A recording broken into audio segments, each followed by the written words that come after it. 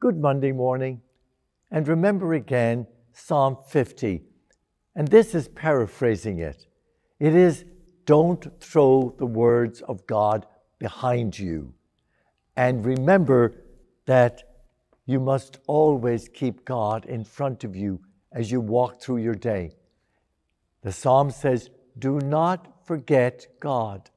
Sometimes I go for hours in a day without acknowledging the sacred presence of God within me and through me for others. And if I do that as a priest, I'm sure when you're distracted by work or family or all the other challenges of your day, school, think about God. Don't forget God. And check your heart and see if there's any little word in there saying, I forget God. No, I remember God, and I'm grateful that I do. Repeat that, and then God will bless you. I remember God, and I'm grateful that I do. Amen.